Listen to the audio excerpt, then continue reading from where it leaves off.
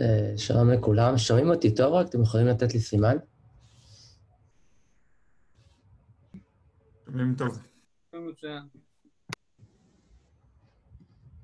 סבבה, טוב, אז, אה, אז בואו נתחיל. אה, קוראים לי יוסי, ואני פה חלק מצוות האלגוריתמיקה בעליבאבא ישראל. מה שאני הולך לדבר עליו היום מבוסס על זה לא עבודה שלי, מבוסס על מאמר שנקרא שם ארוך, uh, Bridging the Gap between Anchor Base and Anchor Free Detection ו-Adaptive Training Sample Selection. Um, הוא מתחלק לשני חלקים, ככה גם ההרצאה שלי. Uh, חלק ראשון זה בעצם לראות מה ההבדל, לנתח את ההבדלים האמיתיים בין uh, דטקטורים שהם מבוססי אנקורים לבין כאלה שהם לא. חלק שני זה, המאמר מציע איזושהי שיטה, ה-ATSS, Adaptive Training Sample Selection, דרך שיטה שבעצם משפרת כל אחד מהסוגי דטקטורים האלה, על סמך האנליזה שהוא עשה. אה, אוקיי, אז ההרצאה בנויה ככה, אני, יש פה רקע יחסית רחב בהתחלה על Object Detection, כי רציתי שיהיה אישור קו, שאני אדע לתת קצת את הקונטקסט. אה, אחרי זה נדבר על Anchor-Based Detectors, Anchor Free, ועד בעצם שתי התרומות של המאמר, זה הניתוח בין... ניתוח ההבדלים בין אפקוס לרטיננט, שהם דוגמה מייצגת לכל אחד מהשיטות. ולבסוף, השיטה של Adaptive ATSS. אלגוריתם מסוים, די פשוט, ותוצאות. אם יש שאלות, אתם יכולים לעצור אותי. עדיף בסוף כל שקופית.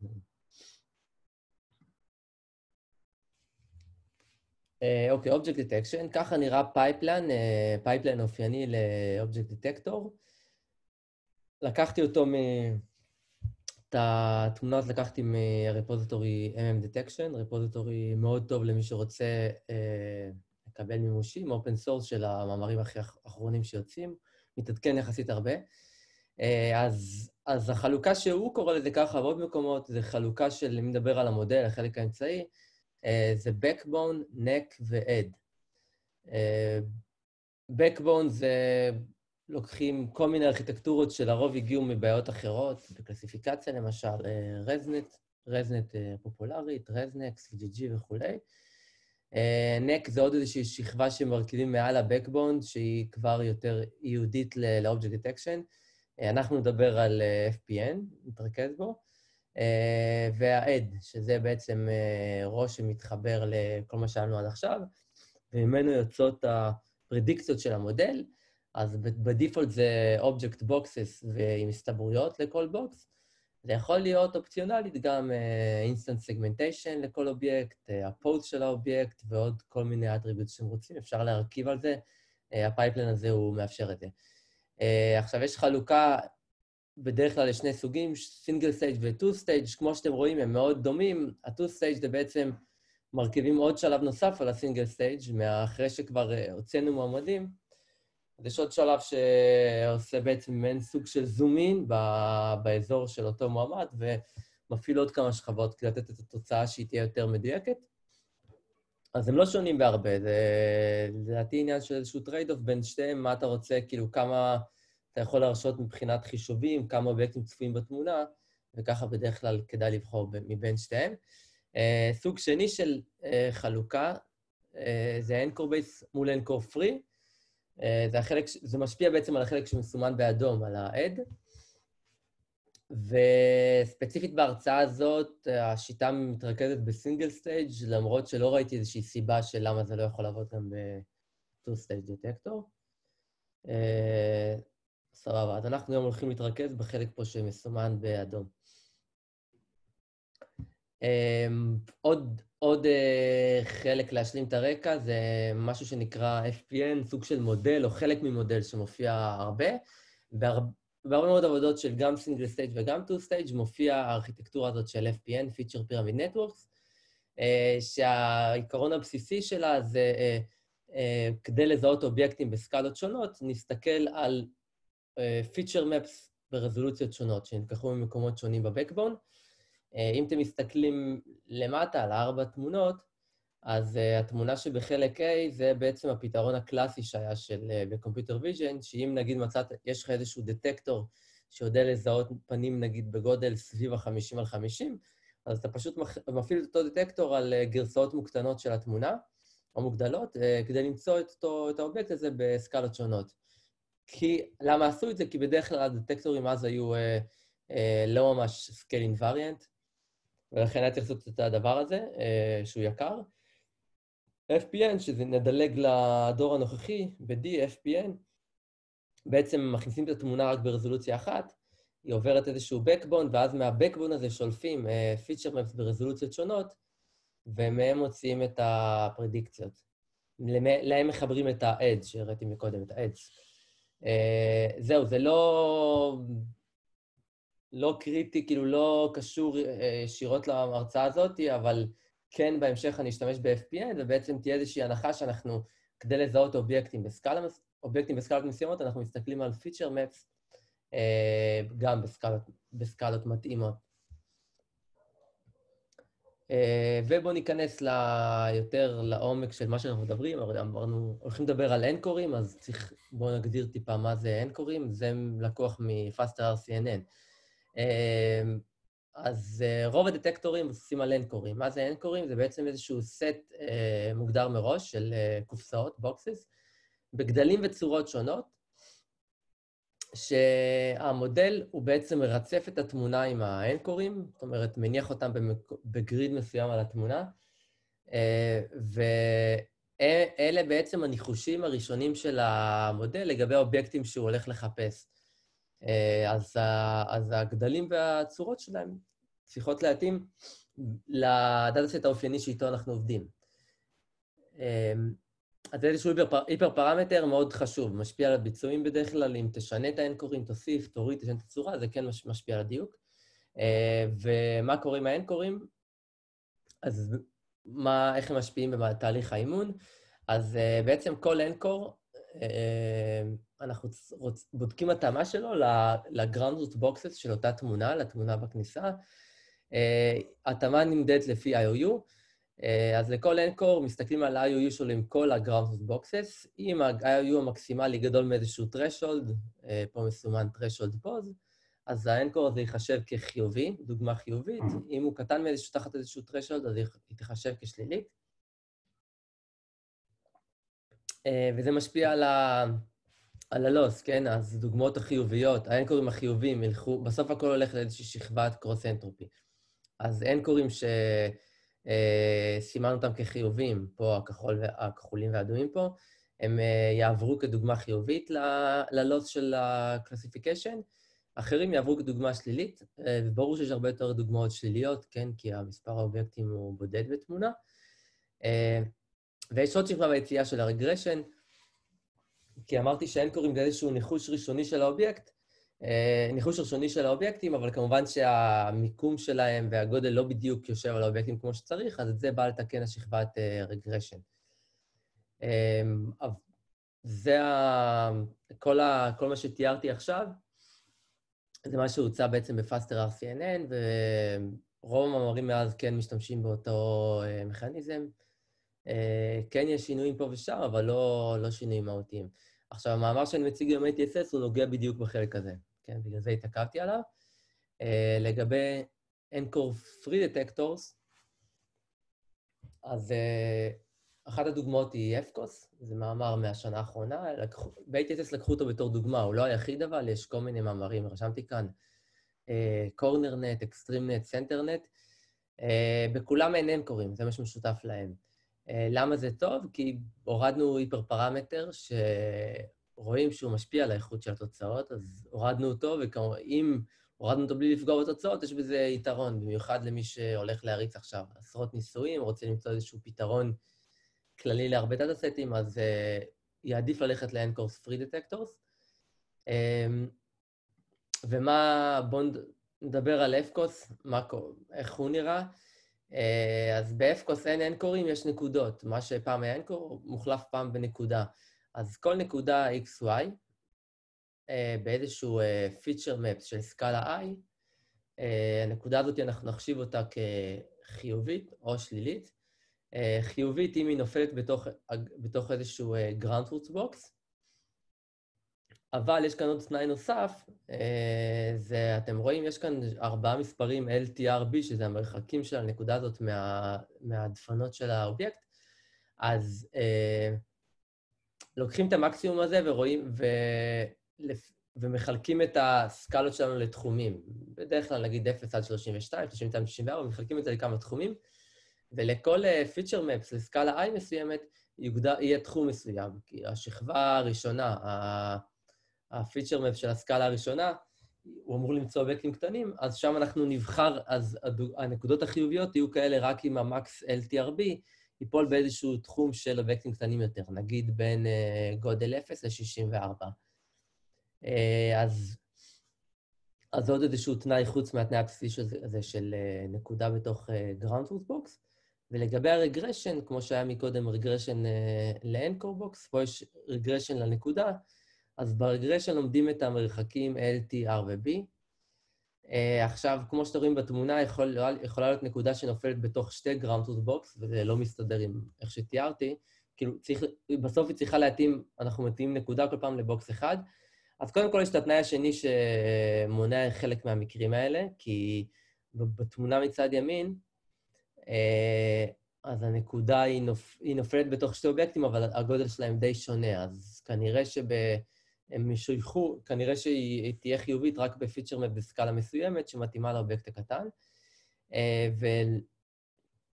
ואם בכל זאת אנחנו נשארים עם איזשהו ambiguity, אז אנחנו בוחרים את ה box הקטן יותר. זה ככה יבטיח שאנחנו אף פעם לא נפספס את האובייקטים הקטנים יותר, אה, כי לאובייקט הגדול אנחנו נגיע כבר עם נקודות אחרות. עכשיו, זה המבנה של המודל, הוא מאוד פשוט, אה, אה, אבל הוא לא עבד, הוא לא עבד מספיק טוב במבנה הפשוט הזה, ולכן הוסיפו עוד ענף שנקרא centerness, אה, שבעצם centerness זה אומר שגורמים לו, למודל ללמוד גם לכל נקודה עד כמה היא קרובה למרכז של איזשהו אובייקט, עד כמה היא קרובה באיזשהו מדד בין 0 ל-1, אה, אז יש לזה, יש, לזה, יש לזה התייחסות באימון וגם ב inference כמובן. במהלך האימון, אה, מה שמלמדים, לא, מה שמלמדים כל נקודה זה את המפה שאתם רואים כאן על הילדה, אה, מפה שהיא במרכז היא קרובה לאחת, זאת אומרת, רחוקים מהמרכז היא קרובה לאפס, והיא מוגדרת, בכל נקודה הגדרה של centerness זה הביטוי שמופיע כאן. אז אתם יכולים לראות שהוא מקבל את המקסימום כשה... המינימום, המונה והמכנה שווים, ואז זה מגיע לאחד. אה, ב inference, מה שעושים איתו זה מכפילים את הערך שיוצא, הערך centerness שהרשת אה, מעריך אה, צופה, מכפילים אותו ב-classification score, ואז בעצם ככה מנמיכים אובייקטים שהם רחוקים מהמרכז, ומחזקים כאלה שקרובים למרכז, וזה עזר להם להיפטר מכל מיני אה, לא טובים, שהיו רחוקים מהמרכז. יש איזה שהן שאלות פה, כי אנחנו הגענו לשליש הראשון.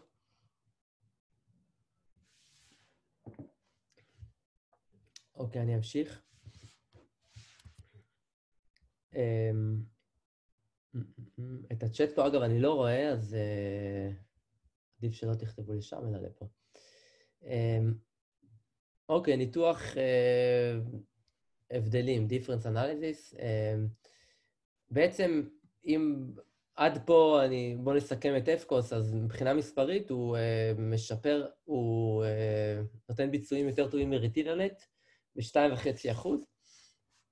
כשאני מדבר על ביצועים פה, הכל נמדד פה על קוקו, וב default זה על ה-validation של COCO, שקוראים לו גם אה, minival. אה, אז הוא בעצם עם ארכיטקטורה שהיא כמעט זהה ל RetinaNet, הוא באמת, RetinaNet היה שם ה baseline, ארכיטקטורה שכמעט זהה חוץ מה centerness, אה, אז, ועדיין הוא משיג 2.5 אחוז הבדל, שזה הבדל די גדול. אה, אבל מפה אנחנו עוברים למאמר של ATSS.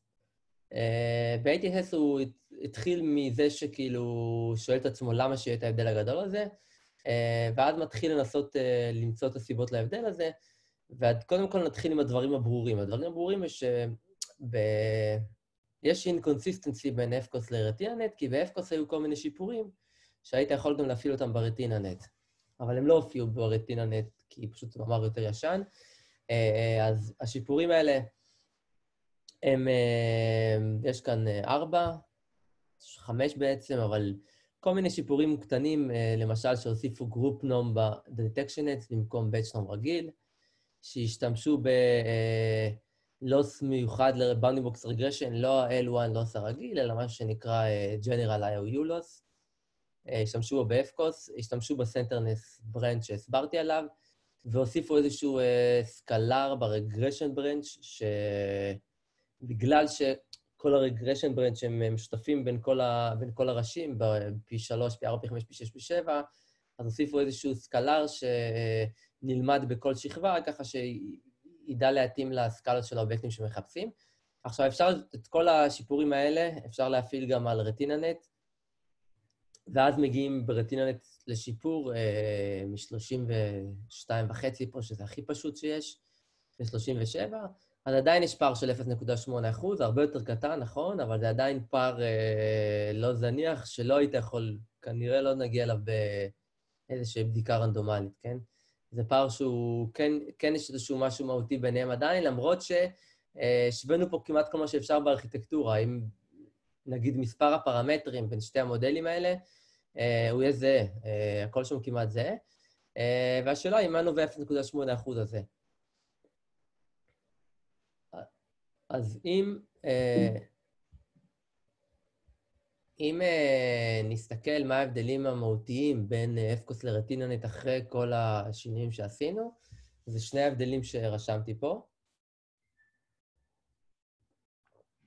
אחד זה אחד קשור ל classification ואחד ל regression. אה, ב classification, בעצם איך שמגדירים, הדרך שבה מגדירים דוגמאות חיוביות ושליליות, אם זה נקודה או box, אבל הדרך שבה מגדירים היא שונה, ו regression זה האם עושים regression מ anchor box לאובייקט, או מ anchor point לאובייקט. אה, והשאלה היא מה משפיע, מה משפיע יותר. אז ב classification, קודם כל בואו נסביר פה את ההבדל. יש פה איור אה, נחמד, אה, יש איזשהו אובייקט עם ה bounding box שלו צבוע בתכלת, אה, ומופיעות פה שתי, אה, שתי pyramid levels, אחד ושתיים. באחד האנקורים הם אה, אה, ריבועים קטנים יותר, בשתיים הם ריבועים גדולים יותר. אה, ב RetinaNet, אם תלכו שמאלה, מה עושים? מסתכלים על IOU, של האנקורים האדומים מול ה bounding box התכלת של האובייקט, ורואים איפה ה-IOU גדול מחצי, וזה יוצא בנקודה אחת, ב pyramid level השני, בנקודה האמצעית פה. זו הדוגמה החיובית היחידה שנקבל. אה, ב-FCOS לעומת זאת, FCOS התהליך הוא שונה, אה, פה חילקו אותו, יש פה תיאור בשני שלבים בעצם. בשלב הראשון רואים איזה מהנקודות נופלות בתוך האובייקט. אה, ב pyramid level הראשון יש שש נקודות כאלה, ב pyramid level השני שתי נקודות, והבדיקה, זה נקרא ה-spatial constraint, והבדיקה השנייה זה ה-scale constraint, זה... אמרנו שיש עוד תנאי שלכל pyramid level בעצם אה, מתאימים נקודה לאובייקט, רק אם האובייקט הזה הוא בטווח גדלים מסוים, אה, אין לי פה את ה... לא מופיע כאן הטווח גדלים בכל pyramid level 1, אבל ה pyramid level 1 אמור להתאים יותר לאובייקטים קטנים, pyramid level 2 לאובייקטים גדולים, אז הדוגמאות החיוביות בסוף שנקבל הן רק מ pyramid level 2, אה, שם הסקאלה מתאימה לסקאלה של האובייקט הזה, אבל אנחנו נקבל פה שתי נקודות, כי כמו שרואים כאן, יש שתי נקודות אדומות שנופלות בתוך האובייקט. אז קיבלנו שתי דוגמאות אה, חיוביות. אני לא אומר אם זה רע או טוב ביחס ל RetinaNet, אבל זה בהחלט משפיע על התהליך של האימון בסוף, כן? שנכנס, אם נכנסות שתי דוגמאות חיוביות או אחת. אז זה ההבדל, ההבדל שקשור לקלסיפיקיישן. Uh, אם אנחנו ניקח, אם אנחנו ניקח את השיטה של אפקוס לבחירת uh, דוגמאות חיוביות, ונפעיל אותה ברטיננט, זאת אומרת, ברטיננט לא נסתכל על IOU, אלא נסתכל על המרכז של האנקור, מול, אם הוא נופל לו בתוך או מחוץ לאובייקט, אה, אז זה נקרא, אז זה השורה השנייה, אז אנחנו נוכל לשפר את ה... את ה-average precision מ-37 ל-37 8. שתי עמודות זה קשור, קשורות ל regression, עוד שנייה אני אדבר עליהן, אבל אה, בגדול, אה, אם אנחנו נמצאים ב RetinaNet, שזה box, ואנחנו עוברים מאסטרטגיה של intersection of union לאסטרטגיה של spatial ו-scale constraint, כמו שהציעו ב-FCOS, אנחנו משפרים 0.8 אחוז. זאת אומרת, האפקוס הציע פה שיטה לבחירת אובייקטים חיוביים, שהיא אה, אה, משיגה ביצועים גדולים יותר, זה שהוא עם אין קוראים, בלי אין קוראים, לאו דווקא אה, זה מה שעשה את ההבדל. אה, לגבי ההבדל השני שנשאר, שזה רגרשן, אז יש גם הבדל ברגרשן, כי ברטיננט אנחנו עוברים איזשהו אין קור אדום, אה, לומדים את הדלתא X, דלתא Y, שזה כמה צריך להזיז את המרכז, וגם דלתא H, דלתא W, כמה צריך למתוח אותו. וב FCOS אנחנו לומדים את הארבע מספרים LTRB, שזה המרחקים מהצדדים. אמ, אז זה גם הבדל שהוא נראה מהותי לפחות, כן? מבחינת ביצועים הוא לא מהותי. אם אנחנו מפעילים את אותה שיטה של regression מ box או regression מ point, אה, אז אתם רואים שאין כמעט הבדלים בביצועים. אה, אם אנחנו ב-intersection over union או ב- spatial and scale constraint, אז הביצועים כמעט זהים בין שתי עמודות box ו point. אז, אה, אז המסקנה מפה, שזה בעצם מסכם את החלק הראשון של המאמר, של ATSS, אה, המסקנה היא שההבדל המהותי בין שני הדטקטורים האלה, שאחד anchor based, אחד הוא center אה, based, בלי אנקורים, זה איך מגדירים דוגמאות חיוביות ושליליות. אה, ובהמשך, מה, שאנחנו, מה שאני הולך להראות בהמשך, זה שיטה חלופית לאיך להגדיר דוגמאות חיוביות ושליליות. לא, היא יותר דומה לרטיננט מאשר אפקוס, אבל היא עדיין עובדת אחרת. אה, והיא תשפר את הביצועים לשניהם, והיא גם רובסטית לכל מיני פרמטרים שנדבר עליהם בהמשך. אה, יש איזה שהן שאלות פה לפני שאני ממשיך?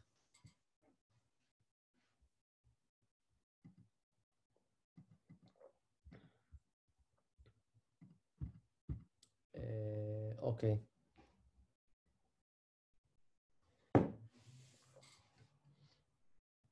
אז אני אמשיך.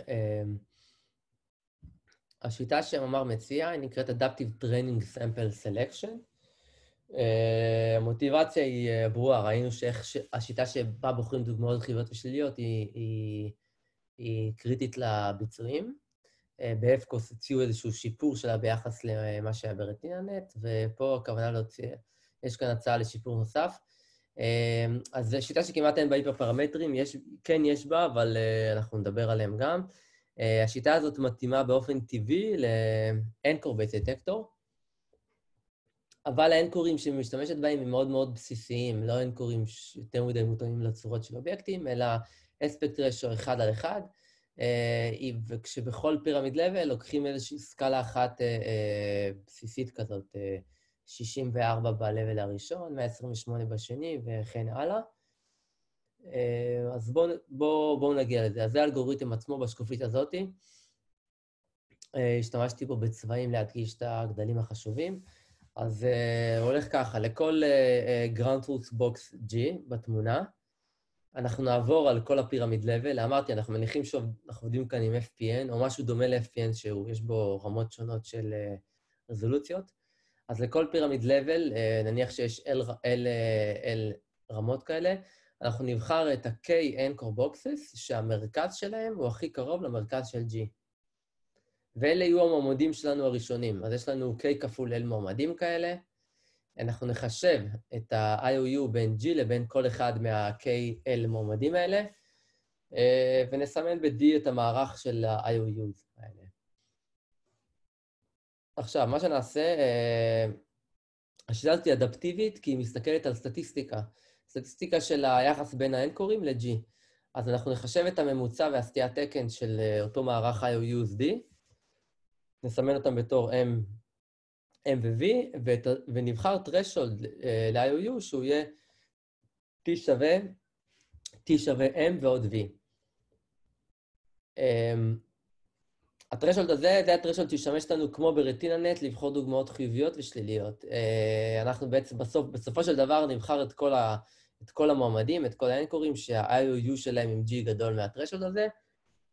ועוד תנאי שנוסף כאן זה שהמרכז שלהם כן יהיה בתוך G, אה, גם לזרוק מועמדים קצת מאוד, מאוד רחוקים מהמרכז.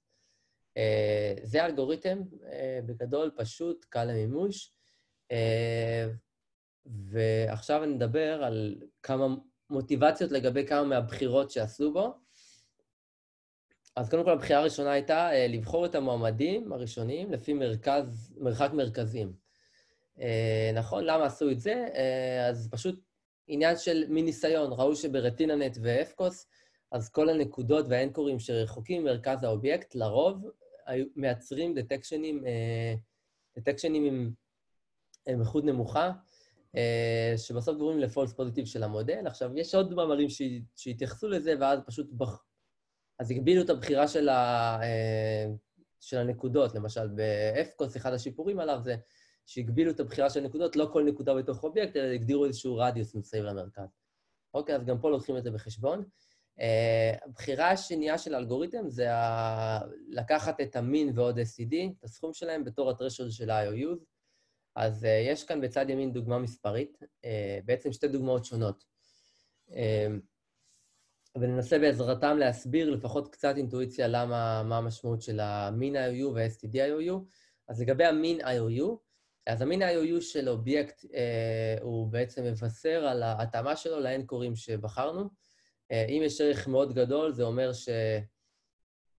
שהאובייקט G מאוד מתאים לפחות כמה anchorים, כן, יכול להיות לאחד, לפחות לכמה anchorים, וזה מה שמעלה את הממוצע, ואנחנו בהתאם רוצים להעלות את הרף אה, לפי, ה, לפי הקריטריון הזה. אם הוא מאוד מתאים לאנקורים, אז אנחנו נשים רף יותר גבוה לגבי ה-IOU.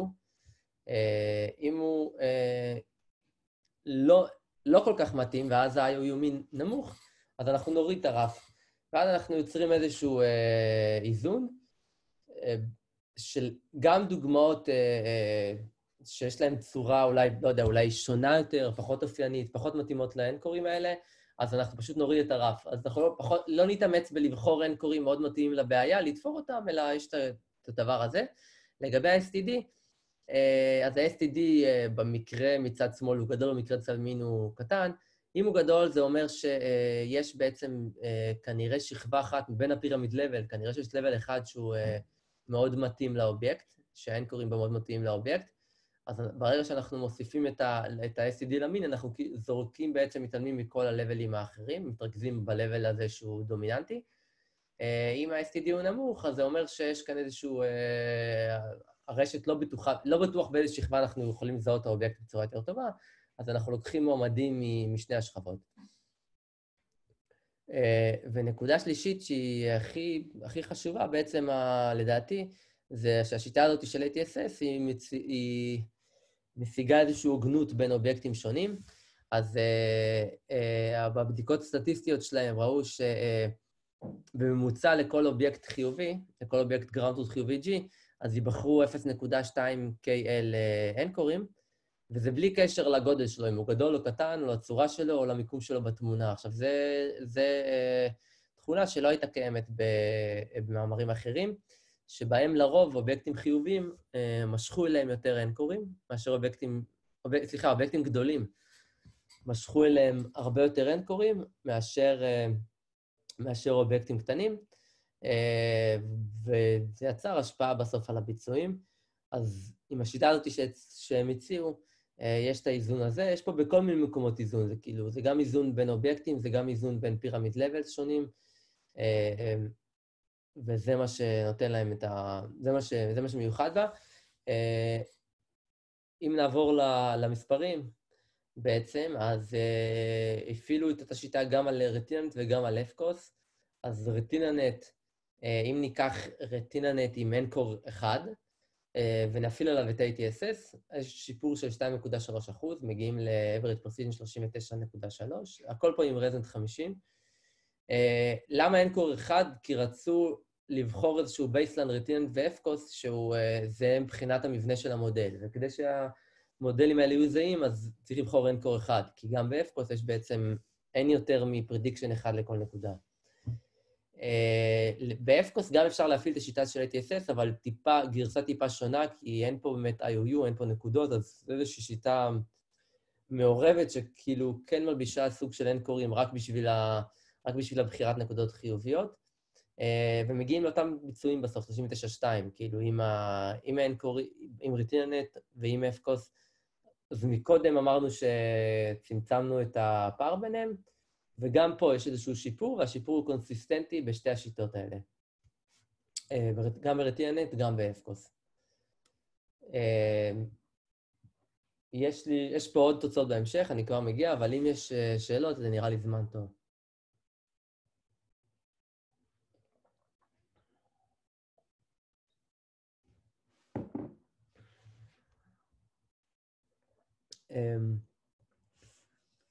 אוקיי, אני אמשיך. יש פה עדיין נושאים, כמה נושאים פתוחים. אחד זה שלקחו כאן רטיננט עם אנקור אחד, אז אולי, אולי, אולי יותר אנקורים או אנקורים מסוימים כן יכולים להביא אותנו לנקודה אחרת, ואז, אה, ואז אנחנו נשארים עם האנקורים. אה, ואמרנו שכמעט אין לי פה פרמטרים, אבל כן היה פה פרמטר K, ש... K פה, שמגדיר כמה מועמדים אנחנו בוחרים מכל פירמיד לבל. אז בואו נדבר על זה גם. אה, אז לגבי אנקורים, קודם כל. אם, אם נלך לרטיננט עם תשע אנקורים, שזה בעצם מה שמוצג במאמר uh, המקורי, uh, אז המעבר הזה מאנקור אחד לתשע אנקורים ברטיננט הוונילה מודל, בלי, ה, בלי ה-TSS, זה כן משמעותי. זאת אומרת, השינוי של מספר האנקורים משפר את הביצועים באחוז וחצי. אבל מודל עם ATSS, מודל לימיטי אסט, שזה ארבע שורות הראשונות, אה, אפשר לראות שלא משנה אם בוחרים אה, תשע אנקורים, שלוש, אחד, ולא משנה אם משנים את המספר הסקלות או את האספקט רשיוז, התוצאה היא מאוד יציבה. אה, סביב ה-39.23. זאת אומרת, אין לך באמת סיבה לבחור תשע אנקורים, זה סתם מודל שהוא איטי יותר, טיפה איטי יותר. מספיק להיות עם אנקור אחד אין קור אחד פר פירמיד uh, לבל. Uh, מה שאני לא, מה לא הראיתי כאן זה, גם אם נגיד אני עם אין קור אחד, אז יש... השאלה היא האם האין קור הזה משנה הצורה שלו, האספקט רשיו הסקאלה, הם גם הראו שלא משנה. ניסו כל מיני uh, טווח גדול של ערכים, וזה גם לא שינה הביצועים. זאת אומרת, זה היפר פרמטר שהוא לא באמת uh, המודל רובסטי אליו. זה המסקנה הראשונה שרציתי להגיע אליה, שבעצם השיטה הזאת היא רובסטית לקונפיגורציה של האנקורים. אה, והיפר פרמטר שני, שזה K, אה, אז, אז זה היפר פרמטר שעדיין נותר, והשאלה אם הביצועים רגישים אליו, אז הוא כן משפיע על הביצועים. כאילו, אם, אם אתה לוקח ערך מאוד קטן או מאוד גדול, שאין פה דוגמה למאוד גדול, זה כן פוגע בביצועים בסוף, שאתה מכניס הרבה מאוד מועמדים לא איכותיים, אה, אבל כן, השיטה היציבה בין K בין 7 ל-19, אנחנו באותם מספרים בערך. אה, אז כן, בתחום מסוים אנחנו, השיטה לא רגישה אליו.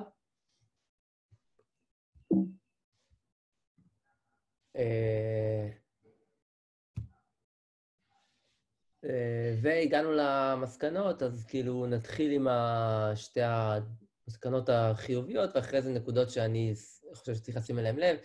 אז, אה, אז מהחלק הראשון במאמר, מה שהוא הראה זה שהחלוקה הזאת בין אנקור בייס לאנקור פי דטקטור, זה לא באמת, האנקורים זה לא באמת ההבדל המהותי ביניהם.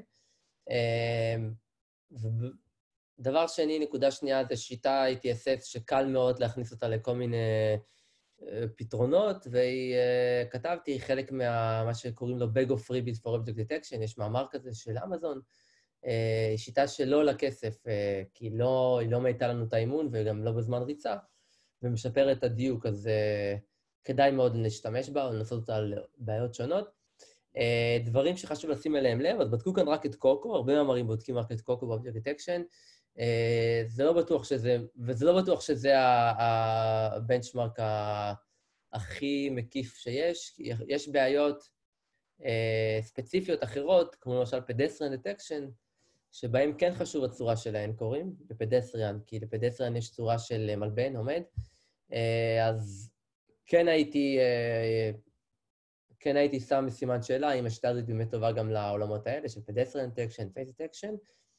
אה, נקודה שנייה זה שבחרו כאן רק את FCOS אה, בתור anchors free detector, אבל יש עוד עבודות שונות שהן מתחרות בו, משיגות תוצאות דומות. אה, לא בטוח שאנחנו נגיע לאותן מסקנות אם היינו לוקחים מודל אחר. ולגבי single stage, שהשיטה הזאת פה הראו אותה רק על single stage, אפשר גם לנסות אותה על two stage, כאילו לדעתי כן יכולה לעזור. וכן יש איזשהו מאמר שיצא לפני שבועיים שנקרא Dynamic RCNN, שהוא כן הפוקוס שלו על two-stage, פתרון two-stage, וגם הוא בעצם תוקף את אותו כיוון של איך מגדירים דוגמאות חיוביות, הוא מציע אבל פתרון אחר, לא כמו ATSS, שזה בעצם לשנות את, ה, את ה-threshold של ה-IOU, לשנות אותו בצורה דינמית במהלך האימון. ככל שהמתקדמים באימון והמודל נהיה יותר טוב, אז ככה ה-threshold יעלה. אז, אז, אז זה גם דרך אחרת, וגם הם קיבלו שיפורים יפים, בלי בעצם לעקר את המודל בשום צורה. זהו, סיימתי. היה קצר יותר משעה, אבל יש זמן לשאלות, מי שרוצה על ספציפית על ATSS, או בכלל על Object Detection, מה שבא לכם.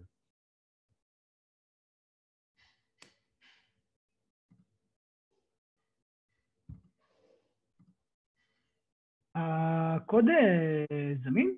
יש גיטאב? כן, הזכרתי בהתחלה את הרפוזיטורי MM Detection, אז זה נמצא שם. MM Detection הוא מכיל הרבה מאמרים של Object Detection, והוא הוסיף לאחרונה את ATSS, כן. איזה חודש נראה לי אחרי שהוא יצא, אז הוא קיים ברפוזיטורי.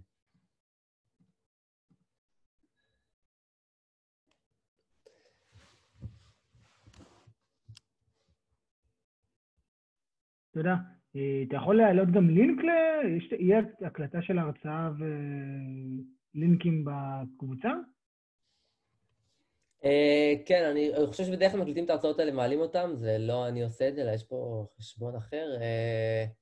כן, זה יופיע במיטאפ, לדעתי. אנחנו נכתוב שם כבר. כן. מעולה, תודה. כיף.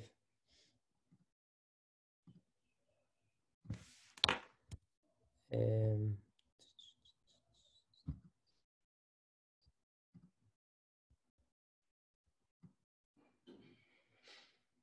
טוב, אם אין עוד שאלות.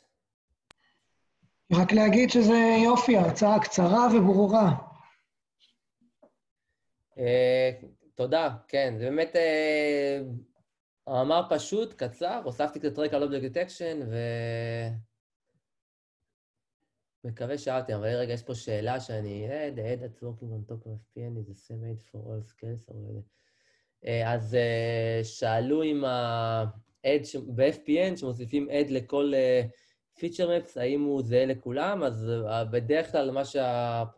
מה שראיתי זה uh, כן מוסיפים את אותו detection net, ואפילו עושים גם uh, שיתוף משקלים בין הרמות, שזה, שזה כן עוזר uh, גם לאימון. כי אחד, זאת אומרת, בכל, בכל, למרות שהפיצ'רים הם שונים, יוצאים ממקורות שונים, שמים את אותם שכבות וגם עושים weight sharing ביניהם.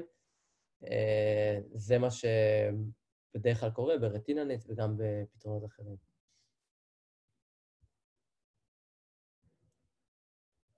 טוב, אחלה, אז תודה לכם, ולהתראות.